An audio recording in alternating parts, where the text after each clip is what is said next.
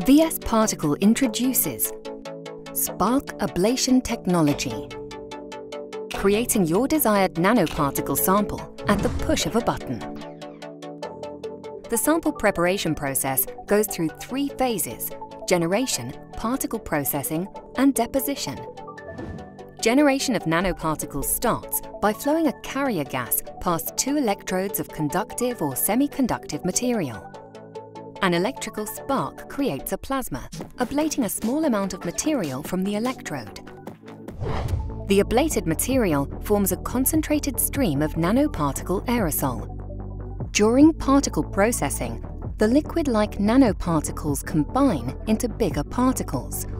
The last process step is particle deposition by one of three deposition methods.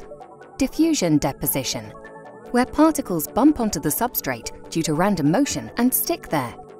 Filtration deposition, where the particles are filtered from the gas stream with a porous substrate.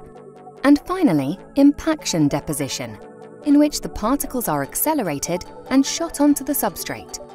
By changing process parameters, the particle generation can easily be controlled. The electrodes can be switched, mixed, or processed as alloy. Materials can be oxidized by playing with the gas composition. All conductive or semiconductive materials are compatible with the technology.